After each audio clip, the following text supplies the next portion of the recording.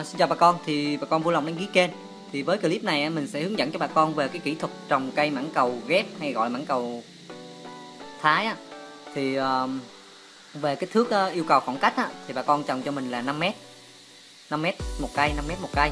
Và cái thứ hai là kích thước hố thì bà con đào khoảng 60 40. Thì uh, đó là về kích thước. Còn thứ hai đó là về bóng lót.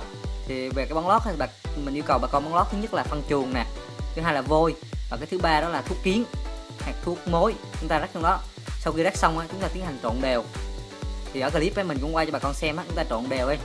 Trộn hết rồi chúng ta tiến hành xé bầu và lắp đắp và trồng thôi thì nó cũng đơn giản. Thì cái việc trồng xong á, thì bà con tiến hành tưới nước.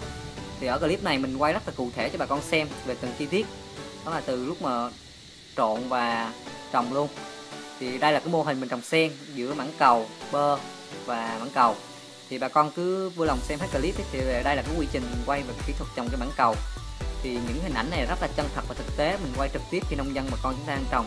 Nên bà con sẽ nắm được kỹ thuật rất là rõ. Không có thể nó không có trên là lý thuyết được mà nó là thực, thực chất và thực hành luôn. Nên bà con sẽ có một cái tài liệu tham khảo rất là hoàn hảo. Thì qua clip này một lần nữa thì bà con vui lòng đăng ký kênh và để theo dõi tất cả các video tiếp theo của nông nghiệp ở Tây Nguyên Đắk Lắk. Mình xin cảm ơn.